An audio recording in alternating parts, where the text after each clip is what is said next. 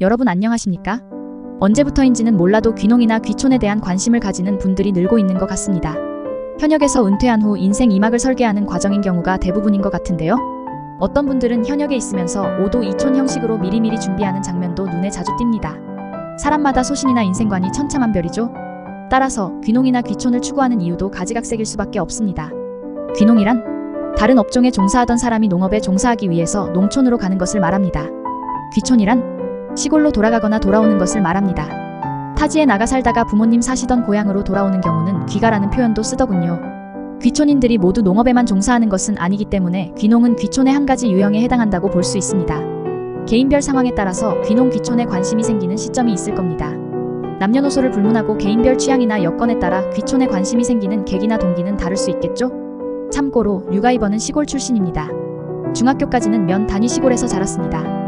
고등학교부터는 도청 소재지를 거쳐 수도권 지역에서 30년 정도를 보냈고요. 정확하지는 않으나 50대 초반부터는 시골살이에 대해서 막연한 관심이 생겼던 기억입니다. 이 관심의 바탕에는 류시화 님이 번역한 헬렌 니어링과 스콧 니어링 부부의 자연 속 친환경 삶을 기록한 조화로운 삶이라는 책이 있습니다.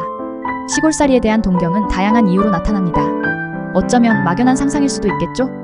사실 귀촌 생활에 대한 만족도는 미지수일 거라는 생각이 듭니다. 그야말로 case by case 아닐까요?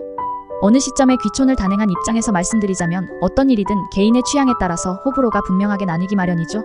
어느 사회, 어느 조직이든 온갖 성향의 사람들이 뒤섞여 살아야 하는 게 세상 이치입니다. 어느 분야든 성공의 기준은 관점에 따라서 달라질 수 있고요. 귀농 귀촌 역시 만족도는 천차만별입니다.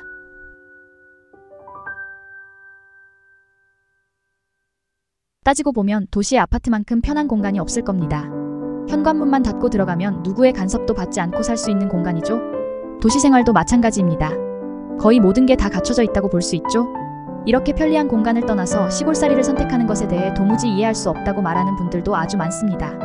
귀촌 유형으로는 농업만이 있는 것은 아니겠죠? 단순히 전원 생활을 동경하는 분들도 많습니다. 불편하기로 치자면 시골살이가 정말로 만만치 않습니다.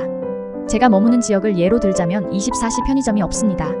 면 소재지에 있던 중학교는 이미 폐교된 상태죠. 면 다니지만 파출소도 없습니다. 인근 파출소에서 순찰차만 주기적으로 오가는 패턴입니다. 우체국은 오후에만 문을 엽니다. 도시로 나가는 직행버스도 없습니다. 인근 도시에서 시내버스가 몇 번 들어오는 정도고요. 단양에서 농어촌 버스도 몇 번 들어오긴 합니다. 동네 슈퍼는 9시 무렵에 문을 닫습니다. 면 소재지이지만 의원도 없고요. 병원 진료가 필요하면 단양이든 영월이든 제천이든 자동차로 20분에서 30분 정도를 나가야 하죠. 보건지소는 요일별로 제한적인 근무를 합니다. 게다가 약국마저도 없군요. 택시가 필요하면 콜을 불러야 합니다. 해가 진 다음엔 사람들 모두 각자의 집에서 나오지 않습니다. 저녁엔 사람 구경하기가 무척 힘든 편이죠. 시골 인구는 이미 노령화가 한참 진행된 상태입니다. 귀촌 인구가 늘고 있긴 하지만 인구 감소는 이미 현실로 다가온 상황이죠. 하지만 이런 시골이 저는 너무너무 좋습니다. 귀촌을 단행한 이유겠죠? 앞서 나열한 상황들이 조금이라도 불만일 경우에는 귀촌을 고려하지 않는 게 나을 것 같다는 생각입니다. 이번 영상은 여기서 마치겠습니다. 이 콘텐츠는 과학교사 출신 초보농부 류가이버가 텃밭과 전원생활 그리고 귀농 귀촌 과정에서 경험한 내용을 사진 및 영상으로 기록한 것입니다. 귀농 귀촌이나 주말 농장 또는 텃밭을 구상 중인 분들에게 조금이라도 도움될 수 있는 자료를 만들기 위해 노력 중입니다.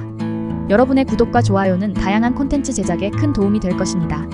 고맙습니다.